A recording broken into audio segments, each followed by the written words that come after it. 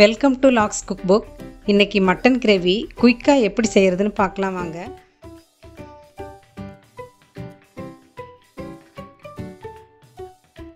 அரை கிலோ மட்டனை நல்லா கழுவி உப்பு மஞ்சள் தூள் போட்டு குக்கரில் அஞ்சு விசில் விட்டு வேக வச்சு எடுத்து வச்சுருக்கேன்.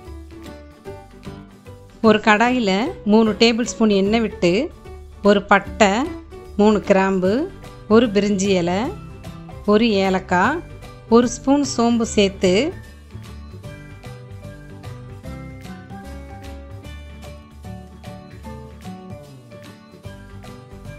அது நல்லா பொரிஞ்சதும் பத்து பல் பூண்டு ஒரு கொத்து கருவேப்பிலை சேர்த்து நல்லா வதக்கிக்கங்க. அதோட பொடியாக நறுக்கின ரெண்டு பெரிய வெங்காயம் ஒரு பச்சை மிளகாய் சேர்த்து நல்லா வதக்கிக்கங்க.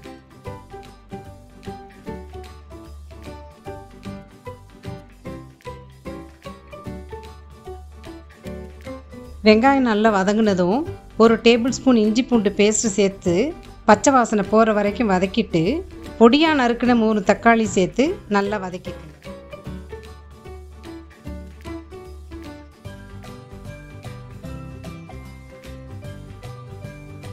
மஞ்சத்தூள் உப்பு சேர்த்தா தக்காளி சீக்கிரம் வதங்கிடும்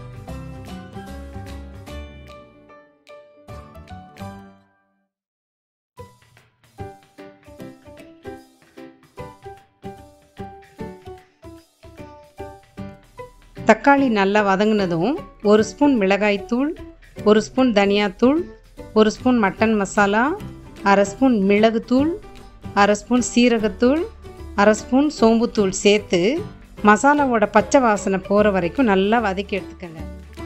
இப்போது வேக வச்ச மட்டனையும் சேர்த்து மூடி போட்டு ஒரு அஞ்சு நிமிஷம் நல்லா வேக விடுங்க.